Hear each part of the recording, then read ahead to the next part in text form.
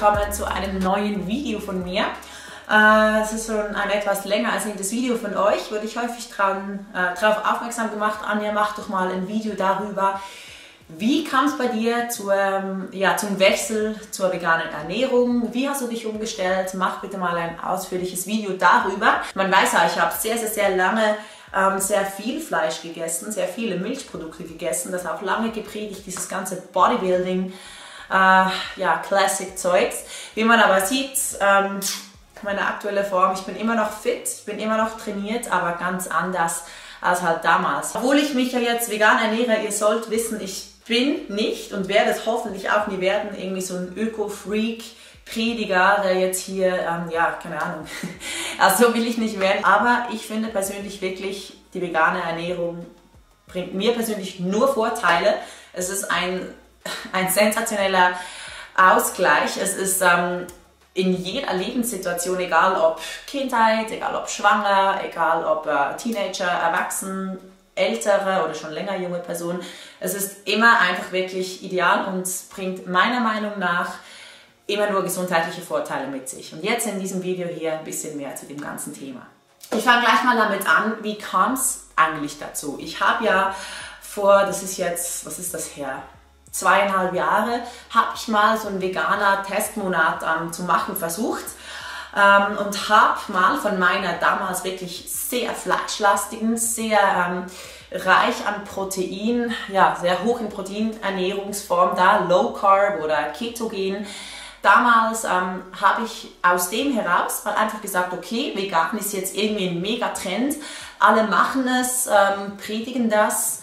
Äh, ich, konnte, ich kannte damals die Beweggründe, die Hintergründe, die ich heute kenne, komme ich dann später darauf zu sprechen, noch nicht wollte es aber einfach mal aus Neugier für mich ausprobieren, weil es für mich halt damals, und bestimmt geht es einigen da draußen auch so, wirklich unvorstellbar war, ich sage es mal extra so, auf Protein zu verzichten. Ja? Ich wusste ja, ich mache Fitness, ich will abnehmen, ich will Muskeln aufbauen, ähm, das ganze Zeug, Sie ja eigentlich alle immer sagen, ja. Ähm, ich brauche Protein und ich brauche ja tierisches Protein. Das hat ja sage ich jetzt nicht so, aber es wird man immer eine andere biologische Wertigkeit, bla bla bla. Deswegen war es für mich eigentlich unvorstellbar. Ich habe es aber einfach mal ausprobiert, habe gesagt, probieren geht über studieren. Also ich habe vor diesen ungefähr zweieinhalb Jahren einen veganen Monat gemacht und äh, ich habe dabei viele Fehler gemacht. Deswegen ist äh, das Ausprobieren für mich damals leider schon gefailt und äh, ich hatte nicht wirklich positives Feedback geben können, bin dann wieder umgestiegen zurück auf Fleisch und Milchprodukte. Ich kam aus dieser Illusion, wir brauchen so wahnsinnig viel Protein. Ja, ich als äh, Frau war damals irgendwie bei 220 Gramm Protein, also viel zu viel und irgendwie keine Ahnung was 50 Gramm Carbs oder sowas, ja. Und habe dann versucht mit diesen Makros, die ich damals hatte, einfach auf vegan umzustellen ist natürlich ein bisschen gefällt. Ja? Es war für mich extrem schwierig, all dieses äh, Protein zu mir zu nehmen und gleichzeitig mit den Carbs nicht hochzuschießen. Denn ich war damals der Annahme, dass es ja so richtig ist. Wir brauchen ja so viel Protein und möglichst keine Carbs, weil die Carbs machen ja Fett. Hieß es ja immer. Heutzutage esse ich eigentlich praktisch nur noch Carbs. Komme später darauf zurück. Aber damals, ihr müsst euch das mal vorstellen, von keinen Kohlenhydraten oder nur ganz, ganz, ganz wenig auf plötzlich mehr Kohlenhydrate, das ist, der Körper muss sich ja auch immer zuerst wieder an alles gewöhnen. Und irgendwie innerhalb von einem Monat, mein Gott, kann sich ein Körper, also ich sehe das ja, es, es dauert immer ein bisschen, wenn man eine neue Ernährungsform hat, es dauert immer ein Weilchen, bis man dann davon Resultate sieht. Und damals, ich war einfach zu ungeduldig, habe die falschen Makros äh, versucht umzusetzen und hatte meine Schwierigkeiten damit. Genau, das ist immer die Hauptfrage, die ich auch heute noch kriege. Ähm, Anja, vegan, ich möchte es auch mal probieren. Ich sehe, du hast wieder mega krass abgenommen, siehst super fit aus. Äh, woher nimmst du aber dein Eiweiß? Und ähm, ja, das ist so die Fehlfrage, die eigentlich überflüssige Frage, die sich alle stellen. Klar, ich sage nicht, wir brauchen kein Eiweiß, kein Protein. Natürlich brauchen wir das, aber ich weiß heute, das kann man genauso gut auch aus pflanzlichen Quellennamen zu sich nehmen. Also das, das ist nicht ein Muss, dass ihr da irgendwie einen gewissen Anteil an tierischem Eiweiß bei euch in der Ernährung haben müsst. Ja, die Meinungen sind natürlich extrem verschieden, ja, wie das immer ist im Leben. Also wenn jetzt Thema Training nehmen. Man kann zehn Personal Trainer fragen, was ist die beste Po-Übung, Rückenübung, was auch immer für eine Übung ihr wollt. Alle der zehn Leute sagen irgendwas anderes. Und so ist es halt auch bei der Ernährung. Es gibt da einfach verschiedene Meinungen und für mich persönlich, es gibt kein richtig und kein falsch. Ich finde im Leben, man soll immer auf alles bezogen das machen, was sich für einen selber richtig anfühlt. Und ähm, wenn jetzt etwas natürlich ist, viele argumentieren ja immer, ja, aber unsere Steinzeitmenschen, die haben ja Fleisch gegessen. Äh, das ist natürlich, also ist das gut. Ich finde aber auch, ähm, natürlich ist nicht immer gleich gut. Ja? Ähm, grundsätzlich eben, sage ich schon, wir haben früher Fleisch gegessen, aber wenn wir das jetzt vergleichen mit dieser ganzen ähm, Bodybuilding-Welt, ich meine, ich sehe es ja, was ich selber gemacht habe. Ich habe täglich irgendwie 500 Gramm Fleisch gegessen, solche krassen Mengen und das jeden Tag. Und das ist alles andere als natürlich. Denn früher, unsere Vorfahren, die hatten nicht täglich diese Mengen an Fleisch. Ja? Die hatten, wenn sie, keine Ahnung, alle zehn Tage, zwei Wochen oder so mal einen Mammut erlegt haben, oder noch seltener, war da nicht dabei, ich weiß es nicht, dann hatten die mal Fleisch. Ja? Also nicht täglich krasse Mengen. Die hatten es halt dann, wenn es das gab. Ja, deswegen, dass es jedem selber überlassen, ist es natürlich Fleisch zu, e-, zu essen, ist es nicht. Ich persönlich bin aber der Meinung, es ist nicht natürlich, Milchprodukte in irgendeiner Art und Weise zu konsumieren. Ich bin der Meinung, es ist für den Mensch nicht natürlich. Klar hat man früher vielleicht irgendwie im, keine Ahnung, was für einen krassen Sibirien, irgendwo im obersten Norden, weiß doch auch nicht wo, äh, da war tiefst Winter, ja, man konnte nicht losgehen, sich irgendwie Nahrungsmittel beschaffen, es war alles eingeschneit, eingefroren. Ähm, da hatten die Bauern halt ihre Nutztiere, ja. Die hatten da die Kühe, die hatten die Hühner, die Eier gelegt haben. Die Kuh, äh, die schwanger war, hat Milch gegeben. Ähm, dann musste man halt, ja, aus, sag jetzt mal, Notsituationen Milch von dem Tier konsumieren, die Eier von den Hühnern essen, ja. Aber ich bin der Meinung, im 2017 müssen wir das nicht. Man kann natürlich, es ist halt in unserer Gesellschaft äh, krass etabliert. Ja, wir sind alle damit aufgewachsen. Man kann niemanden verurteilen oder es niemandem übel nehmen, wenn er halt täglich Fleisch und Milchprodukte konsumiert, weil es halt irgendwie hier einfach normal ist. Ja, und der Mensch geht halt bekanntlich mit dem Flow mit, ja, mit dem Strom der Gesellschaft schwingt der mit. Und wenn jetzt hier, ich meine, ich sehe das schon nur bei mir, wenn ich komme, nee, ich ernähre mich vegan, kommen erstmal solche Blicke, was vegan, das ist ja sowas Extremes, ja. Äh, ich mag da gar nicht so äh, krass lange jetzt äh, drauf eingehen, aber auf jeden Fall theoretisch, einfach, dass ihr das wisst, meine Meinung im 2017, wir brauchen keine Milchprodukte, weil Milchprodukte schlussendlich, das kommt von der Kuh, die schwanger ist.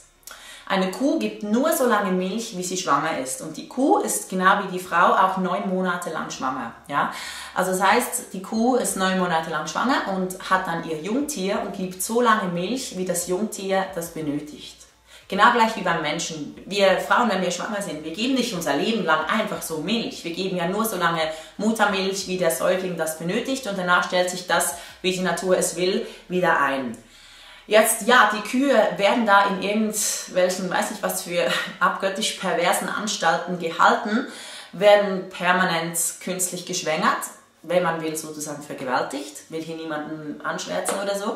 Äh, das ist aber einfach Fakt, dass die permanent schwanger sind, dass sie permanent Milch geben, ähm, die Jungen, die sie dann kriegen, die Weibchen, perfekt, macht man auch dann gleich eine Milchkuh draus und die Männer, das Kalb, geht dann halt wirklich direkt zum Metzger und das ist Kalbfleisch. Kalbfleisch, meine Lieben, ist nicht irgendwie eine, keine Ahnung, eine Tierart. Kalb ist nichts anderes als eine Babykuh, ja.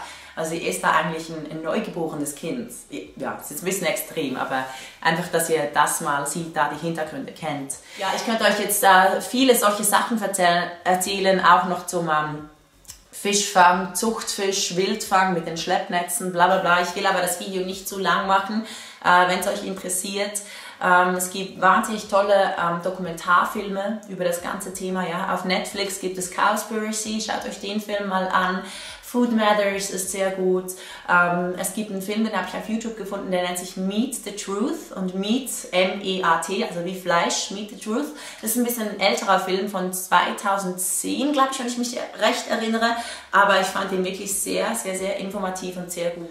Ja, jetzt habe ich mit den ganzen Erklärungen schon ein bisschen äh, drauf angespielt, ja, was sind eigentlich meine Beweggründe, wie kam ich zur veganen Ernährung. Ihr wisst, ich habe das damals mal ausprobiert, mit einfach ohne das ganze Wissen, das ich heute habe, äh, mit den für vegane Ernährung völlig falschen Makros und bin da natürlich ein bisschen gescheitert. Äh, heutzutage aber haben mich all diese Gründe, ja, diese ethischen Gründe, auch was passiert, ähm, ja, ich sag mal, diese ganze Kühe, die Methangase, die die ausstoßen und so, das, das, das hat so einen krassen Einfluss auf unsere Klimaerwärmung. Äh, das könnte durch den Regenwald neutralisiert werden, aber wir holzen ja den Regenwald ab, pflanzen da Getreide, pflanzen da Soja, um unsere Nutztiere dann wieder zu mästen, dass die sich dann Fleisch äh, reinziehen können. Ähm, aber mit dem ganzen Getreide könnte man eigentlich ja, ein sehr, sehr, sehr großer Teil, wenn nicht sogar ganz, Afrika ernähren, ja, die ganze Hungersnot da ähm, wäre eigentlich gelöst, aber wir holzen den Regenwald ab und nutzen äh, die Fläche, um Getreide, Soja und so anzupflanzen, um es den Tieren zu verfüttern, dass wir danach aus ihnen äh, ja, Fleisch machen können. Und, äh, so kann sich das ganze CO2 nicht mehr neutralisieren, also ja, ich will hier, wie gesagt, nicht zu krass auf das Thema eingehen, aber all diese Fakten, und das sind nicht einfach irgendwelche Aussagen, das sind belebte Fakten, die haben wir halt wirklich dann die Alarmglocken nochmal ausgelöst und haben wir halt wirklich gesagt, okay Anja, jetzt probier's einfach mal, lass mal Fleisch weg, dann lass mal, ja, lass mal Step by Step die tierischen Produkte weg, weil wenn die gesamte Menschheit sich vegan ernähren würde, hätten wir einfach so viele Probleme gelöst. Das ist einfach in meinen Augen ein Fakt. Deswegen habe ich gesagt, ähm, egal was links und rechts macht, ich probiere es für mich aus und guck mal, wie komme ich damit zurecht. Ähm, wie verändert sich mein Wohlbefinden, wie verändert sich meine Figur, das halt für mich auch so ein wichtiger Punkt ist, wie verändert sich mein Hautbild. Ich teste es für mich. Auf jeden Fall habe ich im Oktober 2015 dann einfach komplett mit dem roten Fleisch aufgehört. Also seit dann habe ich kein rotes Fleisch mehr gegessen. Im Juni 16 hatte ich dann mal wieder Bock auf einen Burger. Ich ging ähm, mit einer Freundin von mir in eine Burgerbar, habe mir einen Burger bestellt und no joke, ich habe Burger immer geliebt. Nach zwei Bissen hat es mich voll angewidert. Ich habe gemerkt, dass Fleisch so, sagen wir ja Schweizerdeutsch, ja. Ich habe so dieser, dieser Fleischgeschmack stand mir irgendwie schon bis hier und ich hatte den Burger nicht essen können. Dann genauso um diese Zeit rum, dann Juni, habe ich dann, dann begonnen, okay, lasse ich mal das Putenfleisch weg. In der ganzen Zeit habe ich Milchprodukte immer Step by Step weggelassen. Äh, wenn ich natürlich dann ab und zu mal Cheat Day sowas gemacht habe, habe ich auch mal wieder eine Pizza gegessen mit Käse drauf und so. Also das Ganze war wirklich ein Prozess über, ja, fast ein Jahr lang, bis ich dann wirklich sagen konnte, jetzt bin ich eigentlich komplett vegan. Ja, eben das Thema Fisch, ähm, ich eben die Fakten da, was mich da wirklich schockiert hat, das seht ihr zum Beispiel alles in meinem ähm, All Vegan Food Plan Download auf meiner Webseite, ich verlinke den wieder hier unten, da habe ich so zusammengefasst alle meine Infos mit wirklich ein bisschen tiefgründigeren Informationen, warum ich ähm, mich entschieden habe, äh, auf die vegane Ernährung umzusteigen. Und ähm, ihr seht da auch äh, meine persönlichen Makros, ja, meine persönliche Kalorienzufuhr und einfach ein Ernährungsplan, Beispiel wie ich mich zum Beispiel an einem Tag ernähre. Also einfach so ein Beispiel, Frühstücksoption, Mittagessenoption, Abendessenoption. Äh, ja, dass ich jetzt hier nicht äh, das Video zwei Stunden lang machen muss. Da seht ihr weitere Infos. Also das Ganze war für mich ein enormer Prozess. Ich bin froh, habe ich es heute gemacht, weil, ähm, ja, seht es jetzt hier in Klamotten, ja, aber ich habe wieder extrem viel abgenommen im Vergleich ja zu auch schon. Ja, ich war eine Zeit lang wirklich schwerer, natürlich auch mehr Muskeln, aber eine Zeit lang auch ein bisschen speckiger unterwegs. Ähm, also ich sage mal, figurmäßig nur Vorteile. Ich bin wirklich richtig toll im Körperfett abnehmen. Ähm, dann mein Hautbild ist extrem schön, also für mich nur Vorteile jetzt mal in dem ja, ästhetischen, optischen Bereich. Ja. Plus ist natürlich mein Gefühl mega gut, ja. Äh, die ethischen Gründe, die ich euch jetzt hier erwähnt habe, äh, ja, da gibt es nicht nur Abfalltrennung und so Sachen. Das hat die Ernährung hat da so einen großen Einfluss, das war ich mir halt nie bewusst. Und äh, ja, seit ich das weiß und dem so ein bisschen entgegenwirken kann, ich alleine kann natürlich nichts bewirken, ist klar, aber wenn es, ja, je mehr Menschen es machen würden, desto besser wären all diese Probleme gelöst. Und natürlich auch das Tierwohl, ja. Das ist ja halt wirklich mega, mega krass, was mit den Tieren gemacht wird. Ich habe es vorhin erwähnt, äh, die Kühe, wie die gehalten werden, wie die eigentlich vergewaltigt werden, nur dass die schwanger sind, Milch geben und so, ist halt extrem pervers. Äh, ich bin jetzt aber die Art Veganerin, die nicht in erster Linie äh, wegen des, das wegen dem Tierwohl gemacht hat. Ja. Ich habe natürlich auch lange noch äh, Lederschuhe getragen. Ich habe auch jetzt immer noch meine Timberlands, die ich ab und zu mal trage. Ja. Äh, ich habe lange, das ist aber, da bin ich extrem fertig mit, muss ich jetzt gerade sagen, bevor es ein Dislike gibt. Ich habe lange Pelz getragen, habe jetzt auch damit aufgehört. Ja. Aber ähm, das sind wirklich gerade wirklich extrem krasse Fälle. Für mich, ähm, ich glaube, ich könnte wirklich so ein bisschen sagen, es muss man ein bisschen so auszudrücken, die vegane Ernährung hat mich eigentlich sozusagen gerettet aus dem ganzen Diät hin und her raus, ja. Also ähm, ich habe heutzutage, ich habe keine On-Season, Off-Season, irgendwie Diätphasen, keine Ahnung was. Ich bin von dem eigentlich komplett weg. Ich habe mich von dieser ganzen Fitnesswelt, Bodybuilding-Welt voll, vollkommen verabschiedet und äh, das ist auch wichtig, dass ihr das wisst. Ja, viele Frauen sehen, ich habe wieder mega abgenommen und ähm, sagen jetzt, sie wollen jetzt deswegen einfach mit vegan abnehmen. Das ist natürlich gut und recht, aber für mich persönlich ist wichtig, die Message, die ich geben will, ist, dass das Abnehmen und ähm, ja, der, der, optische positive, ja, die optische positive Veränderung, das soll eigentlich einfach ein schöner Nebeneffekt sein, denn vegan, finde ich, sollte nicht äh, verglichen werden mit irgendwie einer Diätform, ja. Also meine Makros, ich esse hauptsächlich nur Carbs, ja. Ich äh, gehe mit der Proteinzufuhr eigentlich immer mehr zurück, weil ich bin auch einfach der Meinung, vor allem ein Mädchen wie ich, ich brauche nicht irgendwie, keine Ahnung was, 160, 170, 180, 200 oder noch mehr Gramm Protein, ja. Ich brauche das nicht, ich brauche nicht so viel Eiweiß. Also ich war mit dem Eiweiß einiges tiefer. Alles zudem findet ihr in dem Plan. Vegan ist ein Lifestyle und ähm, sollte andere Gründe haben als jetzt nur ähm, das Optische, weil dann könnt ihr es auch wirklich so durchziehen, weil ich sehe das ja auch von meinen Diäten früher, ja, irgendwie Low Carb oder Low Fat oder was auch immer ihr gerade eine Diät fahrt. Äh, mir ging es halt da so, dass ich dann wirklich diese Cravings hatte, dieses Verlangen nach irgendwie einem Cheat, ja. Das habe ich beim Vegan überhaupt nicht. Leute, ich liebe Schokolade, ja, ich liebe irgendwie Kuchenzeugs. Aber vegan ist für mich halt etwas so Ausgeglichenes und die Aussage überrascht jetzt vielleicht viele extrem abwechslungsreich. Das ist nicht einfach so eintönig. Ich meine, sorry, ist es abwechslungsreicher Fleisch oder Pute? Ist das abwechslungsreicher anstelle von irgendwie Linsen oder Kidneybohnen oder Quinoa oder Amaranth oder was auch immer? Ihr könnt beide ähm, Ernährungsformen äh, extrem vielseitig machen. Ja? Das, das, kann man nicht sagen, das ist eintönig. Vegan ist nicht was, das mache ich so, jetzt fange ich an, komplett vegan. Das dauert seine Zeit, bis äh, euch das so wirklich bewusst ist und eingependelt ist. Und weil vegan halt eben jetzt für mich persönlich ethische Hintergründe hat, ist es auch wirklich ein Bewusstsein. Also ich schaue mir nicht die Schokolade an und denke, mm, ich möchte die so gerne essen, weil ich mag es doch so gerne. Ich mag das schon geschmacklich, ja, aber die Hintergründe, ja, wie ist das hergestellt und was ist da drin und was haben diese Tiere durchlitten und was bedeutet das für unsere Umwelt, der Gedanke turnt einfach ab. Und deswegen, wenn ihr damals so umgeschaltet habt im Kopf oben, dann werdet ihr es auch nicht mehr haben und äh, diese Fressanfälle und diese Cheat-Anfälle. Ja, aber für mich persönlich hat vegan ein bisschen was mit Intelligenz zu tun. Ja? Die Leute, die einfach gleich sagen, das ist ja völlig unnatürlich, die haben sich halt einfach, kann man ihnen aber auch nicht verübeln, weil es uns halt nicht so vorgelebt wird, aber die haben sich halt zu wenig mit dem Thema befasst. Ja? Und wenn jemand mal das Ganze gecheckt hat, die Hintergründe gecheckt hat, sich damit auseinandergesetzt hat, was bedeutet vegan für unsere Umwelt, für unsere Tiere, für unsere Mitmenschen, was, was bedeutet das überhaupt, zeugt für mich einfach, okay, ich unterhalte mich hier mit einer intelligenten Person, die das Ganze gecheckt hat.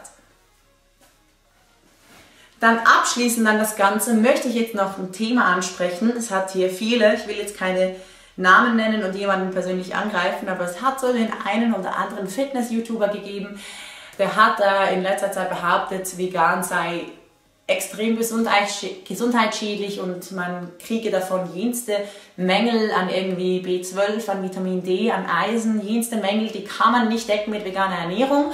Und Leute, ich habe hier in der Hand meinen Beweis.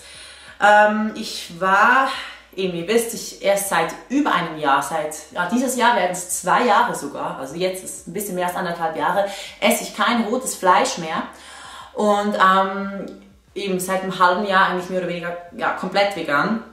Und ich habe mir jetzt meine Blutwerte testen lassen.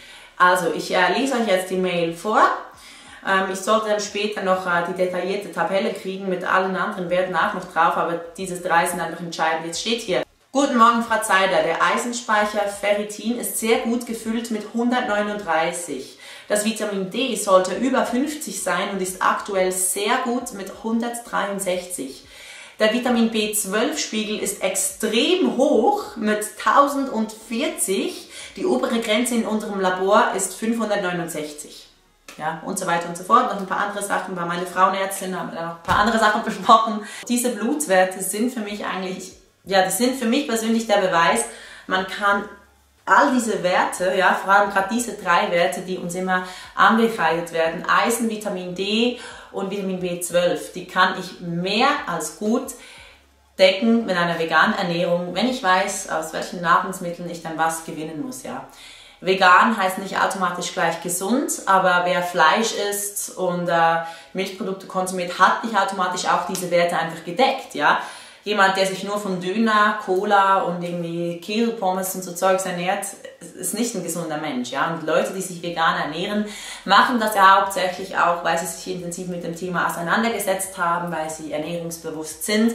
Und ich denke, diese Leute greifen dann sowieso eher oder ja, greifen generell ja schon nur zu unverarbeiteten Lebensmitteln und ähm, ja, haben sich da einfach schon informiert, wie sie was decken können. Also deswegen dieser Punkt, Veganer können gewisse Nährstoffe nicht decken, ist für mich kompletter Schwachsinn. Allejenigen, die da irgendwie im Internet was anderes behaupten, ja, es stimmt einfach schlicht und hinweg nicht, meiner Meinung nach. Weitere Infos zum Thema B12 findet ihr in einem anderen Video für mich. Da habe ich ähm, detailliert noch über das Thema B12 gesprochen. Und ich ja, denke, das Video ist jetzt schon relativ lang geworden. Ich beende das Video hier an dieser Stelle hoffe, ich könnte euch einfach ein bisschen aufzeigen und erzählen, was mich zur veganen Ernährung bewegt hat, ja, was meine Beweggründe sind, wisst ihr jetzt nach diesem Video. Ähm, checkt mal die Infobox, packe ich noch ein bisschen mehr Infos rein, verlinkt da meine Instagram, Facebook, sonstigen Profile, wo ihr mir ein bisschen folgen könnt. Vielen Dank fürs Zuschauen. Ähm, alle Fragen, Anregungen, Bemerkungen, Meinungen, alles Mögliche bitte unten in die Kommentare. Video liken, wenn es euch gefallen hat. Und ansonsten bedanke ich mich bei euch. Und äh, bis zum nächsten Mal.